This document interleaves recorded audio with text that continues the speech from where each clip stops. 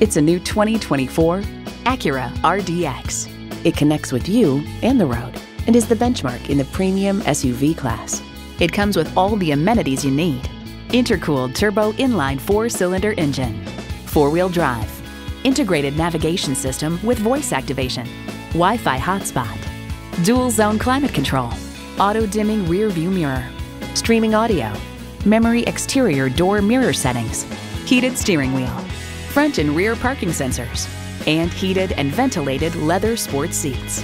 Acura has a legacy of innovation, a legacy that continues here. If you've been waiting for the perfect time for a test drive, the time is now. Experience it today.